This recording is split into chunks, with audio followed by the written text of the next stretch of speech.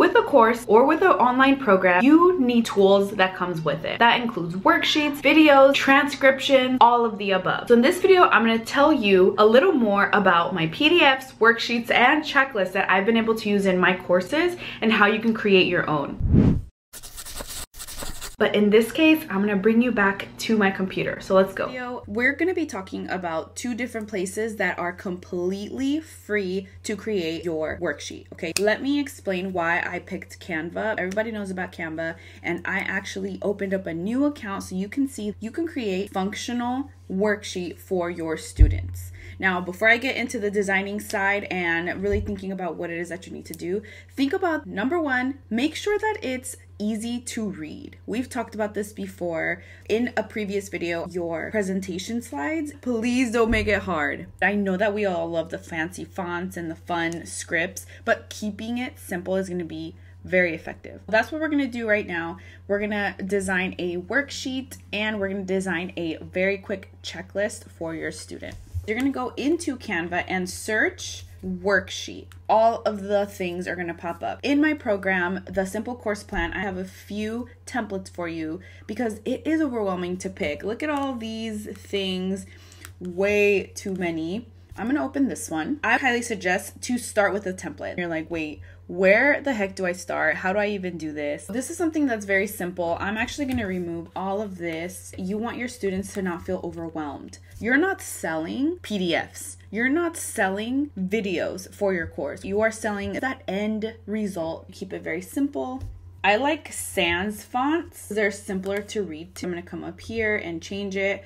I do like all caps. You can use any of these buttons to really customize it. So I'm actually going to make them a little bit closer here in letter spacing. So now that that's done, now we can start typing in all the things. I'm gonna keep the font the same. Now here on the bottom is the super cool part where you can change them all at the same time so you don't have to keep doing the thing over and over. So right here on the three dots, all caps, let's pause really quickly and really think about why is it that you're creating a worksheet? Well, the reason why these worksheets are necessary is because not everybody is a note taker and they might not catch exactly what it is that you are trying to portray and they might not get that idea that you're trying to relay the message not for every single video that you're creating but for those that really require for them to meditate what brainstorming do they have to do now that i have my title i have my directions, customize your worksheet. Try to remember printer friendly. So I'm going to give you two ideas. I'm going to give you an extremely printer friendly. I remember my mom would always tell me like don't even think about using ink on my printer. So I'm like extremely traumatized when it comes to printer and color. Erase all of this. Now that's one option. Just having it simply like this the second option for something that's printer friendly is adding like a square around it. So let me show you. You're to go here to elements. You're to create some type of like square or something like that. Okay, I found this one. This is where this goes. I'm to do it very light gray. Copy paste very printer friendly. If you want to get wild and you know you want to get fun, you can definitely make these back color backgrounds your brand colors perhaps. Let me show you what your worksheets look like. You would create a worksheet to create a result. Now let's create a checklist. For example, I have a checklist that is how to go live. It may seem super simple, but the reason I created it when you first go live for your business and you're just like literally dying, no idea how to even start, then a checklist will help you. Make sure that my phone is charged, wipe the back of my lens, have some headphones. I'm gonna go in front of a light. Follow that same way. If you're already in here, you can just go to templates and press checklist. I'm gonna pick this. This looks pretty cool because it already has that but I'm gonna erase all of this because this is obviously not my jam. Copy this font. I'm okay with the lines, but I'm gonna move this up. That actually looks really good. I'm gonna do regular sans, not bold. How can you spruce this up a little bit? You can add a photo something like I said, I know the printer friendly thing, but sometimes you do need some type of visual. You don't really need them. But let's say that I want a photo here. So that's a way that you can spruce up your worksheets, adding a few elements. Let's see what it looks like when you erase all of these lines. Get fancy and move them. It could be a demonstration. For example, if this is creating a worksheet checklist right here, I would probably put like a photo of the computer or printer. They look good. They look very similar. If you are going to do that pink and you want it like a little bit more spruced up, you can change the color of the font, whatever that font is, whatever that brand color is, and it looks so good.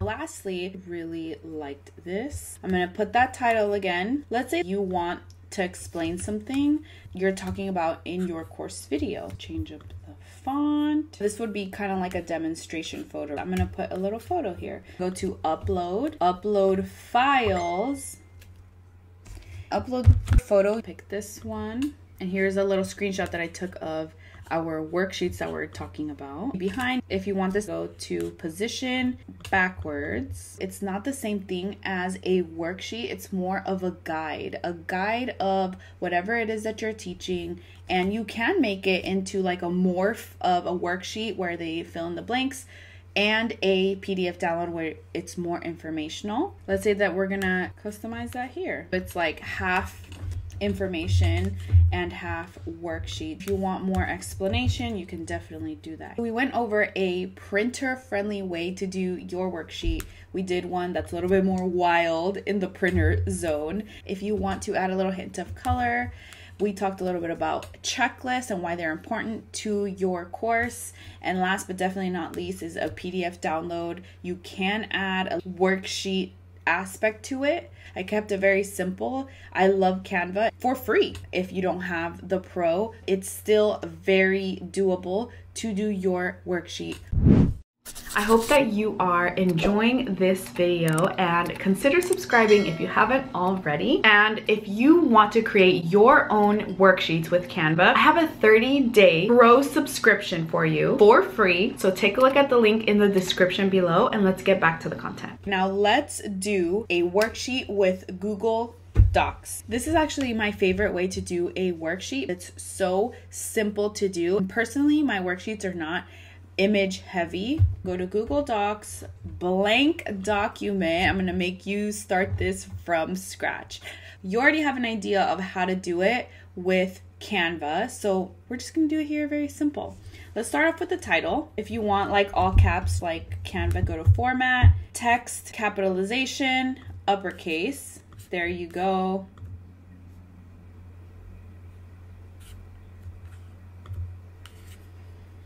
Make it readable fun color. Now we're gonna make those little fill in the blank squares. Go to insert, table, and do one square.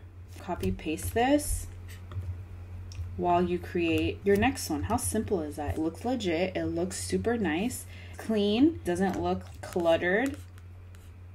You can customize the squares, another color. Click on the square, go up here click on the color that I want. Let's say that you want a demonstration. Insert, image, upload, make it as small or large as you want. I'm gonna make it a little bit smaller. Click this middle one so it could be like inside. One last thing, having a page number. Go to page numbers, pick wherever the page number is going to go. I want it in the corner, whatever. I'm probably gonna do it on the bottom. It's gonna do it for you. Let's say you have a second one. There you go. This number two is done already for you you can change the font. If you want to do like your course name let's say i want the simple course plan plus the page number it's to do it all for you super cool. This I hope that this helped. It really gave you that clarity, whether you should do a worksheet, whether you should do a PDF or a checklist for your course, because you definitely want the retention of your students. And in the next video, we're gonna talk about sending emails, how to create your own emails for retention for your students.